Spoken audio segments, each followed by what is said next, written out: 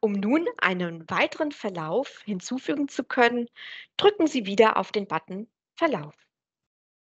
Es öffnet sich die Eingabemaske einer Verlaufsmeldung. Im oberen Bereich haben Sie nun auch wieder die Tumorzuordnung, die Ihnen sagt, zu welchem Primärtumor Sie nun eine Verlaufsmeldung hinzufügen. Und im unteren Bereich müssen Sie wieder die Angaben zum Verlauf eintragen. Wählen Sie also nun den passenden Meldeanlass, zum Beispiel Statusänderung. Geben Sie an, ob der Patient bei Ihnen einen Widerspruch eingelegt haben oder ob der Patient informiert wurde durch Sie oder den diagnosestellenden Arzt. Falls Ihnen dazu keine Informationen vorliegen, können Sie das Feld Patient ist über die Meldung informiert auch freilassen. Füllen Sie wieder das Feld Zertifizierung aus, sofern Ihnen die Informationen vorliegen. Wenn Ihnen keine Informationen vorliegen, lassen Sie das Feld Zertifizierung bitte einfach frei. Bei dem Feld eigene Leistung tragen Sie wieder ein, ob Sie die Tumornachsorgeuntersuchung durchgeführt haben. Bei dem Feld Untersuchungsdatum geben Sie bitte das exakte Datum der Nachsorgeuntersuchung an. Füllen Sie nun die Tumorstatusangaben Gesamtbeurteilung, Tumorstatus Primärtumor, Tumorstatus Lymphknoten, Tumorstatus Fernmetastase und den allgemeinen Leistungszustand zum Zeitpunkt der Nachsorgeuntersuchung aus.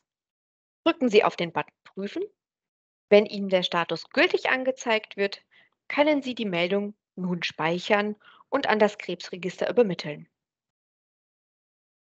Sie haben aber auch jetzt die Möglichkeit, beispielsweise zu dem hier genannten Lokalrezidiv weitere Angaben in der Verlaufsmeldung hinzuzufügen, wie zum Beispiel eine neu erhobene Histologie oder einen neu erhobenen TNM, weitere Klassifikation, genetisch erhobene Marker oder, sofern möglich, Angaben zu Modul allgemein.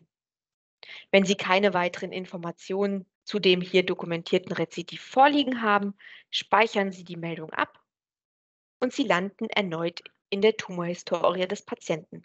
Übermitteln Sie nun die gültige Meldung. Und bestätigen Sie dies. Und Sie sehen, nun haben Sie hier zwei Verlaufsmeldungen. Wenn Sie nun auf die Übersicht wechseln möchten, um weitere Patienten erfassen zu können, drücken Sie hier oben links auf den Button Übersicht. Sie landen nun wieder auf der Startseite des Melderportals. Sie können jetzt über Patient erfassen einen weiteren neuen Patienten erfassen oder, falls Sie bereits Patienten erfasst haben, diese über die individuelle Patientennummer aufrufen.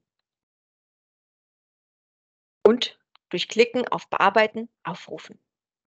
So können Sie die Tumorhistorie des Patienten jederzeit weiter bearbeiten.